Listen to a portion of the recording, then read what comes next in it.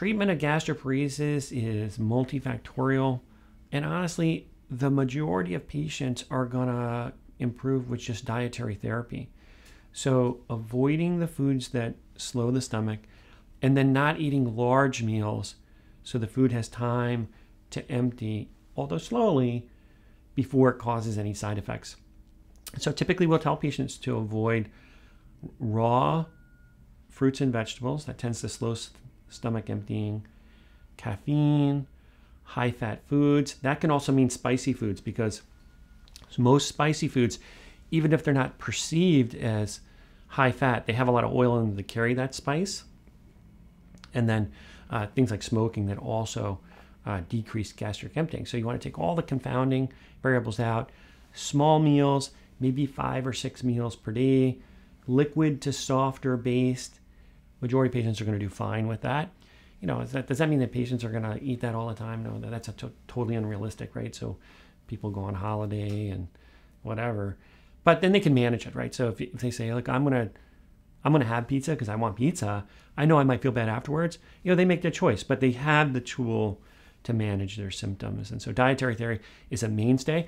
And basically, every patient with gastroparesis should see a dietitian with some expertise in the disease just to go through their diet and see if there's a way to manage the disease without even using medications. One of the reasons that gastroparesis is really, um, I guess, relatively shunned by uh, m- many physicians is we don't have great drug therapy, right? So if you're in your office and you're a primary care doctor and you are seeing lots of different diseases, you, you want to be able to treat them. And when you can, it's it's hard. It's hard for the patient. It's hard for the physician. Right now, we only have one FDA medication that's approved for gastroparesis, and that's a medicine called metoclopramide, or the trade name is Reglan.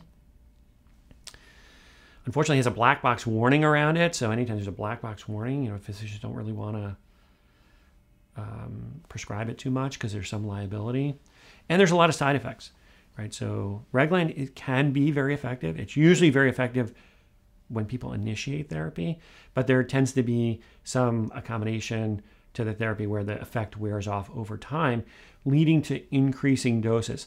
And there's a dose dependent side effect profile that involves involuntary movements, involuntary movement, facial motions, jitteriness. And if those things occur, the medicine has to be stopped because if it goes on prolonged, those side effects can become permanent. And so, very important to recognize those limitations. And when they are recognized, get the patient off the medication as quickly as possible. Unfortunately, then, what are you going to do for them? Because they were sick enough to need medications. What are other choices? Um, there's uh, a medicine that's available outside the United States called domperidone.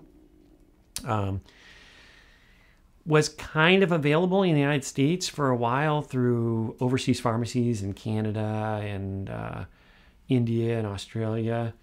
Um, the FDA has really come down on the people that were importing this drug, even though it, it works pretty well and it's generally pretty safe. It's not FDA approved, and the FDA finally did kind of come down on several pharmacies and practitioners, and so much more difficult to get than it used to be.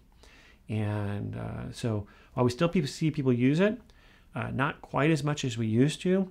There's a side effect profile too. Probably the most uh, important one is that it elevates the prolactin level. There's a rare incidence of pituitary tumor formation, and for women that can mean that they're, they be, they start lactating.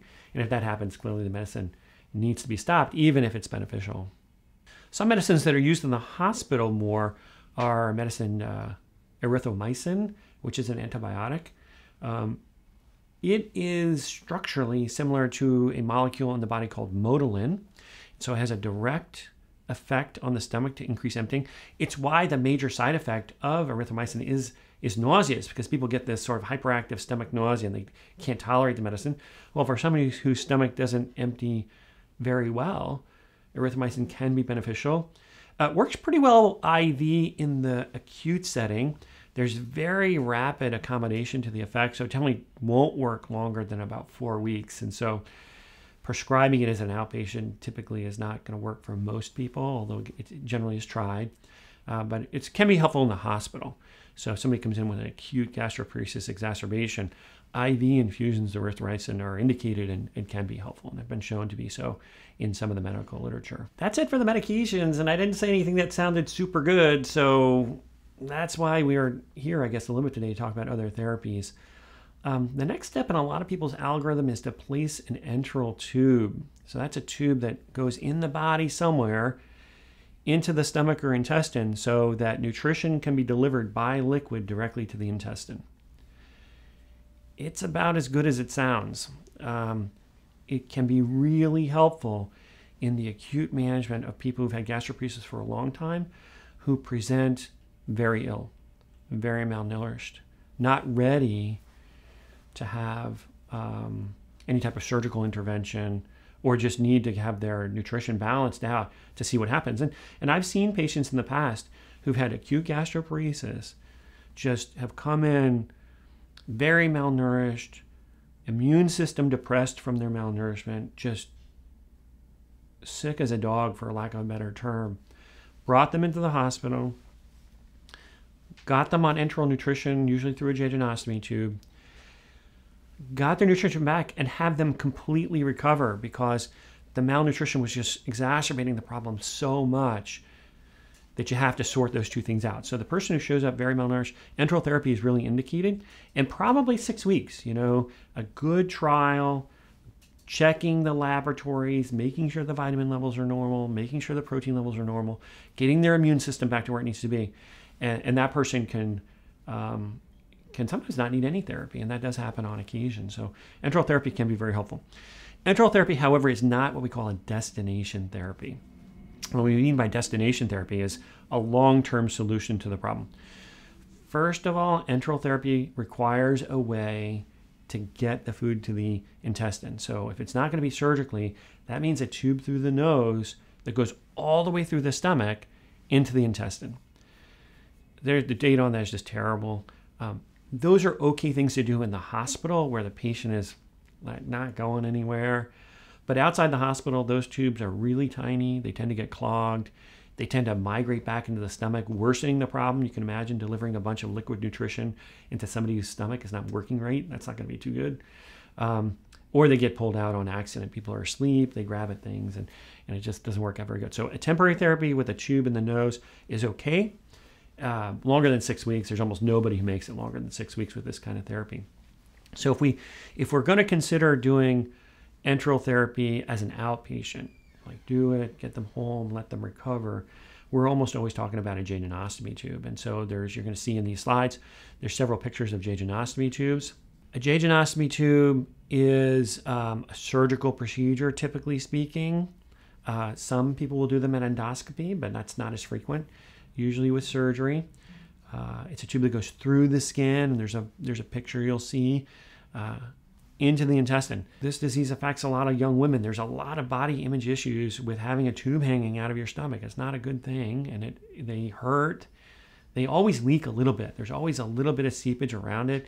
Kind of smells bad and it's gross and so as a destination therapy, it's like not what we want. I mean, sometimes we end up in that corner, but we should have exhausted many other therapies that you'll hear about in a minute before we end up there. So uh, it's good for the short term not great for the long term. Another short term therapy, if the patient can't get enteral therapy, is IV nutrition. Total parenteral nutrition, or TPN, is what it's called. That requires an implantable IV catheter. Uh, that has its own problems with infections and implants. And then the nutrition, it just cannot be as balanced as enteral therapy. Enteral therapy is sort of naturally occurring compounds. And there's lots of little micronutrients that we can't create in a bag solution that to help. And then the IV nutrition infections are a problem. So long-term IV therapy should be really be a rarity. It's very expensive, lots of complications. The catheters usually have to be changed out due to infection over time. And for somebody who's young, 30s or 40s, we should be looking for another answer for that person than long-term IV therapy if we can find it if we can find it. The next therapy, which is not surgical, is injection of the pylorus or the muscle at the end of the stomach with Botox. Botox is a naturally occurring compound that, when injected into muscle, essentially paralyzes the muscle. And so Botox makes that muscle at the end of the stomach open all the time. And so if your stomach is not emptying properly, we don't want a valve at the end of the stomach that's closed, right? We want it to be open all the time so at least gravity will help the food go out. And so uh, Botox injection has been around for a long time. It's been studied on many occasions. There's a lot of controversy about whether it works or not. Yeah, in my experience, I don't do Botox injections, but I see lots of patients who've had Botox injected. It works about 20% of the time. And um, based on what we know about pyloroplasty as a therapy, Botox injection should work more frequently. And so I think the problem with Botox injection is not so much that it's theoretically a bad thing. I think theoretically it should work. Um, I think it's that it's very hard to deliver uh, from the end of an endoscope directly into the muscle at the right location to get it to relax.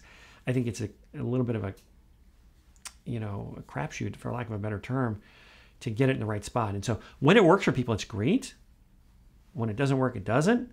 Um, typically, what I see is for when it does work with people, they get one, two, or three injections.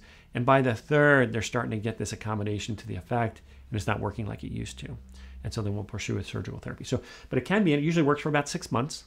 And so, um, so it's worth. I think it's worth doing for people, but I, I also don't think it's a permanent solution for most people.